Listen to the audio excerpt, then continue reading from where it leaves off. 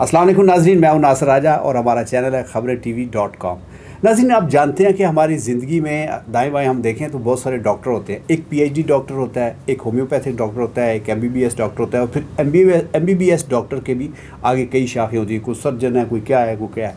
इसी तरह engineer, engineering का जो शोबा है, इसके भी जो इंजीनियर्स होते हैं, उनकी कई जो है, जोहतें होती हैं, उसके कई शाखें होती हैं लेकिन हम सबको इंजीनियर कहते हैं। आज हमारे साथ मौजूद हैं सैयद अली हसन साहब, जो सदर हैं यंग इंजीनियरिंग टेक्नोलॉजिस्ट एसोसिएशन के अस्सलाम वालेकुम वालेकुम जी अली कैसे हैं आप? अल्हम्दुलिल्लाह। अच्छा अली मुझे ये बताएँ इंजीनियर होता क्या? पहले ये बताएँ।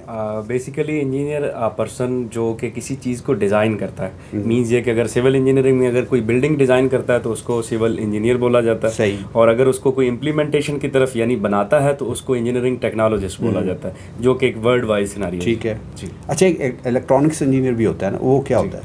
इलेक्ट्रॉनिक्स इंजीनियर बेसिकली जितने भी इलेक्ट्रॉनिक्स की जो डिवाइसेज हैं जैसा हम्म। कि आपका कैमरा है मुख्तलिफ़ चीज़ें हैं उनके ऊपर जो काम करता है उनको डिज़ाइन करता है उनको बनाता है उसको इलेक्ट्रॉनिक्स इंजीनियर बोला जाता है। अच्छा इसमें कोई आईटी वो और ये जो इंटरनेट वगैरह होता है इसका भी कोई अमल दखल है? ये भी कोई इंजीनियर होते हैं? क्योंकि हमने सुना है कि आजकल इसकी बड़ी मांग है। जी इंफॉर्मेशन टेक्नोलॉजी मींस ये कि कंप्यूटर सॉफ्टवेयर वगैरह में जो इंजीनियर्स होते हैं हम्म। उनको आईटी में इंजीनियर्स बोला जाता है। वो इंफॉर्मेशन टेक्नोलॉजी पे काम करते हैं यानी कि सॉफ्टवेयर वगैरह बनाने के लिए। अच्छा अच्छा अली हमें ये बताएँ कि ये जो आपने बताया कि इंजीनियर्स बहुत सारे होते हैं कोई सिविल इंजीनियर होता है वो होता है तो इसमें आप कौन से वाले इंजीनियर हैं? Basically we are engineering technologist हम लोग फ़ील्ड में प्रैक्टिकल किसी चीज़ को एग्जीक्यूट करना किसी चीज़ को तखयल से एक्चुअल शेप में लेके आना जो काम करता है शख्स फ़ील्ड में खड़ा होके अपने स्किल्स की मदद से हम वो हैं और उसको बोला जाता है इंजीनियरिंग टेक्नोलॉजिस्ट अच्छा टेक्नोलॉजिस्ट हैं आप।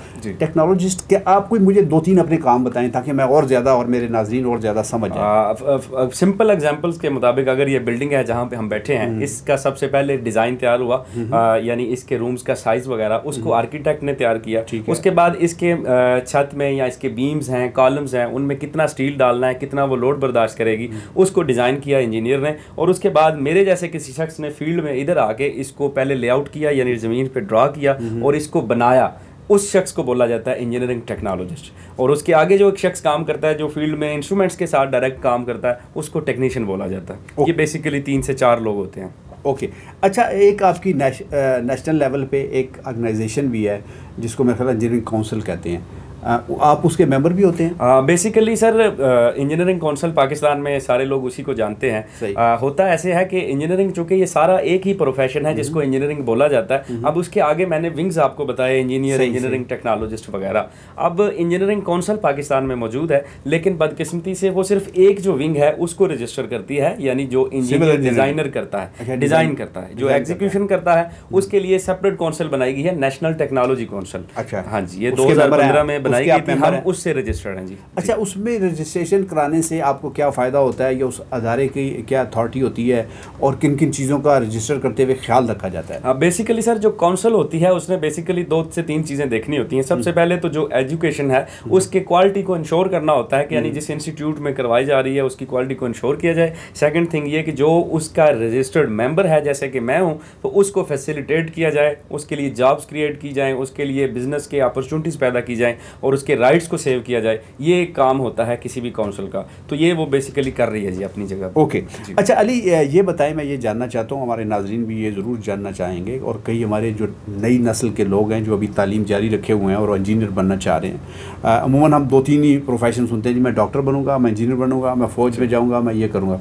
तो हमारे ऐसे कौन कौन से पाकिस्तान में नामी ग्रामी इदारे हैं जो इंजीनियरिंग की बहुत अली तालीम दे रहे हैं? बेसिकली सर आपने हदीस मुबारक में भी सुना कि अलकासिब हबीबुल्ला यानी जो शख्स हाथ से जिसके पास स्किल है हम्म। वो उसकी वैल्यू ज़्यादा है। इंटरनेशनल सिनेरियो में भी अभी यूनाइटेड नेशन का जो सस्टेनेबल डेवलपमेंट गोल्स हैं उसमें भी टेक्निकल एजुकेशन यानी स्किलफुल एजुकेशन पर तवज्जो दी जा रही है। हमारे प्राइम मिनिस्टर इमरान खान साहब भी टेक्निकल यानी जिस बात का मैंने आपको बताया इंजीनियरिंग टेक्नोलॉजिस्ट का इसकी यूनिवर्सिटीज़ बना रहे हैं। अभी उन्होंने छः यूनिवर्सिटीज़ जो हैं वो बना दी हैं पाकिस्तान में। हम्म। ताकि जो शख्स पढ़े उसके पास जस्ट जस्ट थ्योरी की एजुकेशन ना हो बल्कि वो एक ब्लू कलर शख्स हो वो फ़ील्ड में अपना काम कर सके रोज़गार खुद भी बनाए और दूसरों के लिए पैदा कर सके। तो इसलिए ऐसी एजुकेशन लेनी चाहिए जो कि स्किलफुल हो आपको अगर जॉब ना भी मिले तो आप अपना कारोबार करके अपना बिज़नेस करके आप अपना पेट पाल सकें और अपने माशरे को सर्व कर सकें। सही आपने ये सही फरमाया सईद अली हसन साहब के स्किल यानी कि हुनर आपके हाथ में हो तो आप कभी भूखे नहीं मरते।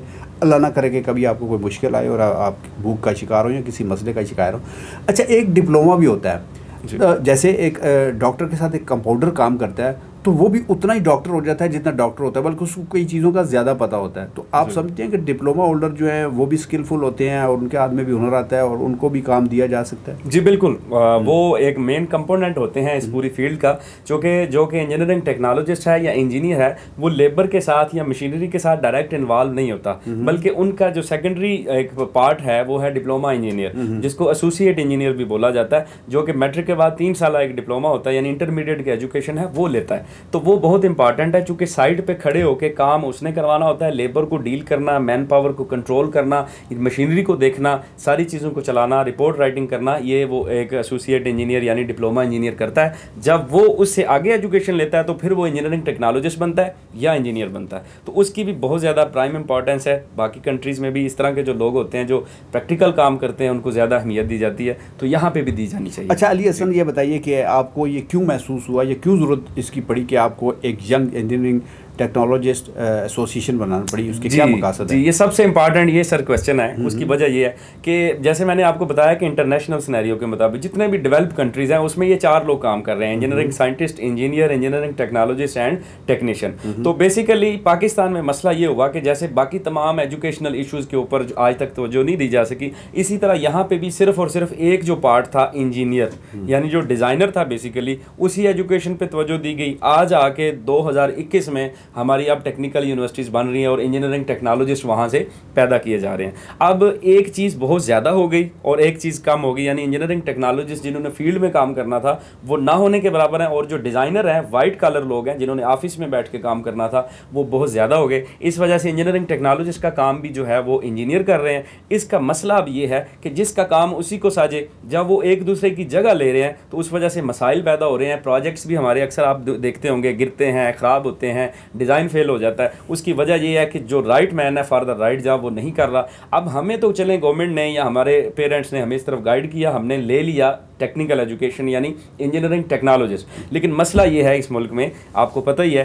कि पहले से जो फैक्शंस मौजूद हैं, यानी जो माफियाज मौजूद हैं वो अब ये जो इंजीनियरिंग टेक्नोलॉजिस्ट है उसको उसका काम जो है वो करने की इजाज़त नहीं देते। हम्म। अब हमारे पास वन ईयर एक्स्ट्रा क्वालिफिकेशन होती है सेवनटीन ईयर हम पढ़ते हैं सात साल टेक्निकल एजुकेशन होती है फिफ्टी सिक्स सब्जेक्ट्स पढ़ते हैं ज़्यादा फ़ील्ड का नॉलेज होता है। लेकिन इसके बावजूद आज तक गवर्नमेंट ने यूनिवर्सिटियाँ भी बना दी एजुकेशन भी शुरू करवा दी दूसरी ममालिक को कापी करते हुए। लेकिन आज तक हमारे लिए ना कोई इंडक्शन पॉलिसी है ना सर्विस रूल्स हैं ना अपना बिज़नेस कर सकते हैं। मीन्स ये कि डिग्री करने का भी फ़ायदा नहीं हुआ तो इन तमाम मसाइल को देखते हुए हमने इस एसोसिएशन को बनाया जिसका बेसिकली मकसद जो है वो एक तो टेक्नोलॉजी एजुकेशन को पाकिस्तान में आम करना है। दूसरी बात यह कि इंजीनियरिंग टेक्नोलॉजिस्ट के जो मसाइल हैं हम्म। उनको दुरुस्त करना ओके अच्छा अली मुझे ये बताएँ कि मैं आपके मकासद तो समझ गया लेकिन आपको इसका सदर क्यों बनाया गया और या आप इसके सदर क्यों बने? आपके अंदर क्या ऐसा जोश जज्बा है या क्या ऐसा मंशूर है जिसकी वजह से आपने ये बीड़ा उठाया? बेसिकली जी ये तो लोग ही जानते होंगे क्यों मुझे आगे लेके आए मुझसे सीनियर भी थे बाकी लोग भी थे। हम्म। तो बहरहाल जो चीज़ मैंने महसूस किया वो मैं आपसे शेयर कर सकता हूँ हम्म। कि सबसे बड़ी चीज़ होती है नीयत। इन मालू बिन नियत।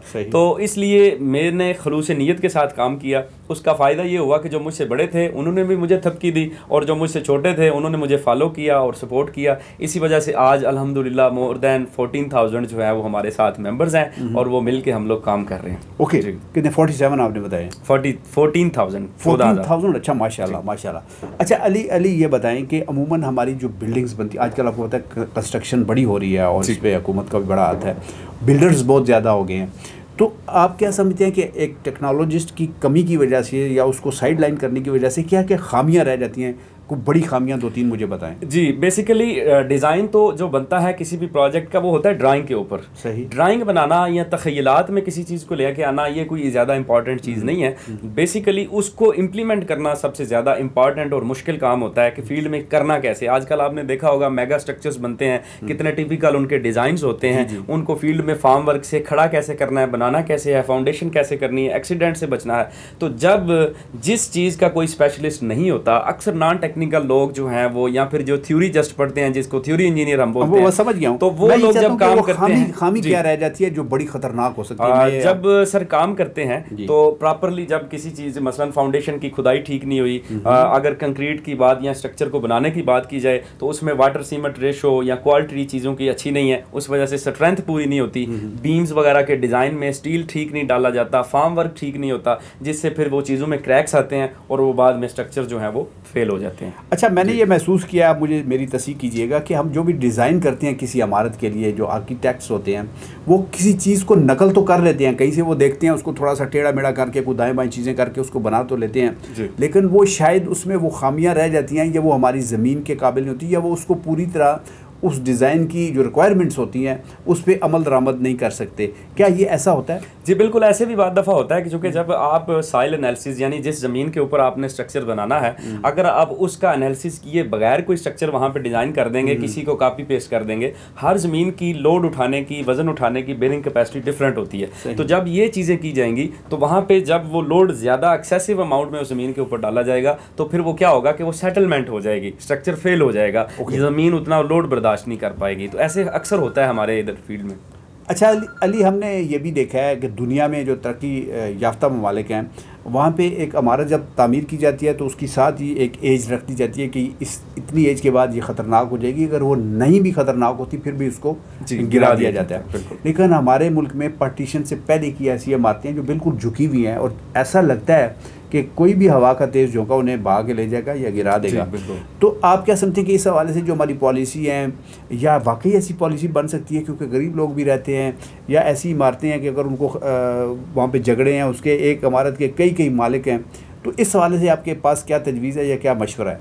आ, सर कुछ दो चीज़ें होती हैं। एक तो ऐसा स्ट्रक्चर होता है कि जो बिल्कुल वलनरेबल है यानी हम्म। गिरने के गिरने वाला है उसने गिरना ही गिरना है। हम्म। तो दो तरीकों से उसे सेव किया जा सकता है। नंबर वन प्रायोरिटी तो ये होनी चाहिए कि जब उसकी सर्विस लाइफ गुजर गई उसको गिराया जाए डिमोलिश किया जाए नया स्ट्रक्चर बनाया जाए। हम्म। लेकिन अगर उसको ज़रूरी है जैसे कि पुरानी आसार कदीमा की कुछ बिल्डिंग्स हैं तो उनको रिहेबिलिटेट किया जा सकता है। रिहेबिलिटेट मीन्स कि उनको सपोर्ट करके न्यू उनको रिपेयर करके मेनटेन करके उनकी लाइफ को बढ़ाया जा सकता है। ये चीज़ें ज़रूर होनी चाहिए। चाहिए। हमारे यहाँ लोग जो है इकानमी को ज़्यादा फोकस करते हैं और जो लाइव्स हैं जो ज़िंदगी है उसकी अहमियत नहीं होती। इसी वजह से जब एक्सीडेंट्स होते हैं तो कई लोगों की जानें जाती हैं तो इसलिए ऐसे स्ट्रक्चर को या गिरा देना चाहिए या उनको रिहेबिलिटेट करना चाहिए। अच्छा अली मैं एक आखिरी सवाल ये आपसे पूछना चाहता हूँ कि जब भी आप किसी बड़ी बिल्डिंग या सरकारी बिल्डिंग का ठेका लेते हैं उसको बनाने की ज़िम्मेदारी लेते हैं तो कुछ पेपरा रूल्स होते हैं जिन पर अमल करना बड़ा ज़रूरी होता है। लेकिन उसमें कई लोग ऐसे होते हैं जो पेपरा रूल्स को तो फॉलो करते हैं लेकिन अमली तौर पर वो शायद उसके, उस काबिल नहीं होते। तो क्या आप समझते हैं ऐसी तजवीज़ आपके जहन में है कि उसके लिए भी क्या क्या पॉलिसी बनानी चाहिए या क्या इकदाम उठाने चाहिए? बेसिकली सर हर एरिया के हर एरिया की जो बिल्डिंग कैपेसिटी ज़मीन की जो क्वालिटीज़ हैं हर एरिया की ज़मीन मुख्तलिफ़ होती है। तो वहाँ के बिल्डिंग्स कोड्स बने होते हैं। हम्म। ठीक है? डिज़ाइन के हवाले से बिल्डिंग कोड बने होते हैं। तो जब भी किसी इलाके में कोई बिल्डिंग बनाई जाए कोई स्ट्रक्चर बनाया जाए तो उसके बिल्डिंग कोड को मद्देनज़र रखते हुए उसकी जो वहाँ पे इन्वायरमेंट है उसको देखते हुए उसको डिज़ाइन करना चाहिए। तो जब उसके मुताबिक डिज़ाइन करेंगे तो फिर उम्मीद है और जब उसकी फ़ील्ड में इम्प्लीम एप्लीकेशन जो है वो सही होगी हम्म। यानी काम ठीक होगा सही तरीके से परफॉर्म होगा। हम्म। आप जितना अच्छा डिज़ाइन कर लें अगर आप उसमें पानी सही नहीं डालते ज़्यादा डाल देते हैं सीमेंट कम डालते हैं यानी रेशो आपको ठीक रखनी जी जी यानी इस तरह की चीज़ें करते हैं तो फिर आपका सारी चीज़ों का ख्याल रखना चाहिए। अच्छा अली मैंने अपनी कम आएगी के बावजूद कोशिश की कि आपसे बहुत सारे सवाल करूँ। कम वक्त होता है और कम वक्त में ज़्यादा से ज़्यादा सवाल करने होते हैं लेकिन इसके बावजूद अगर आप समझते हैं कि मैंने कोई चीज़ छोड़ दी है कोई चीज़ रह गई है और आप हमारे नाजरन को बताना चाहें तो बिस्मिल्लाह करें बताएँ। सबसे पहले बहुत शुक्रिया आपका सर। आपने बहुत सारी चीज़ें ऐसी पूछी जिससे आम लोगों का नॉलेज भी बढ़ेगा। हम्म। तो इसमें मैं दो चीज़ें ऐड करूँगा। सबसे पहली चीज़ तो ये कि यानी जितनी यंग जनरेशन मुझे सुन रही है मैं उनको कहूँगा कि आप कभी भी ऐसी एजुकेशन न लें जो कि एक आपको वाइट कॉलर मैन बनाए। यानी जिससे जिसको पढ़ने के बाद भी आपके पास कोई स्किल ना हो कोई हम्म। हुनर ना हो कोई नया तालीम नॉलेज ना हो। हम्म। आप ऐसी चीज़ कभी ना करें। क्योंकि अगला जो दौर आ रहा है इसमें बड़ा मुश्किल होगा सर्वाइव करना। इसलिए आप स्किलफुल एजुकेशन लें ऐसी एजुकेशन लें जिससे आपके हाथ में आपके दिमाग में कोई स्किल आ जाए। सेकंड उसका तरीकाकार ये है कि मैट्रिक के बाद आप डिप्लोमा ऑफ़ एसोसिएट इंजीनियर कीजिए। उसके बाद बीएससी इंजीनियरिंग टेक्नोलॉजी जो न्यूली लॉन्च की गई है पाकिस्तान में डिग्री उसी सिलसिले में अभी गवर्नमेंट ने इस्लामाबाद में ही बड़ी अच्छी यूनिवर्सिटी बनाई है नेशनल स्किल यूनिवर्सिटी आप इस जैसी यूनिवर्सिटियाँ जो state of the art universities हैं वहाँ पर एडमिशन लीजिए और अपने आप को स्किलफुल बनाइए ताकि आप मुल्क की भी खिदमत कर सकें और अपनी फैमिली को भी सर्व कर सकें। बहुत शुक्रिया दूसरी बात अच्छा और जी सर दूसरी बात और आखिरी बात ये कि गवर्नमेंट को चाहिए कि सिर्फ़ और सिर्फ़ यूनिवर्सिटियों के ऊपर फोकस करना यूनिवर्सिटियाँ बना देना, इस तरह की चीज़ें करना, इससे मसले हल नहीं होते, बल्कि हर चीज़ को पहले अगर यूनिवर्सिटी बनाई है तो वो जो क्वालिफिकेशन है एजुकेशन है, उसको करने के बाद बच्चा कहाँ पर जाएगा, इसके बारे में भी वो ज़रूर सोचें, ताकि प्रैक्टिकली तौर पर इस मुल्क में टेक्निकल एजुकेशन आम हो सके और आगे आ सके। थैंक यू बहुत शुक्रिया अली आपका, और जो मैं समझ सकूँ इस इंटरव्यू के बाद वो ये है कि हमारी जो नई नस्ल है, उसको अपने हुनर पे भी तवज्जो देनी चाहिए और सही रास्ते का इंतखब जो है ये बहुत बड़ा फ़ैसला होता है।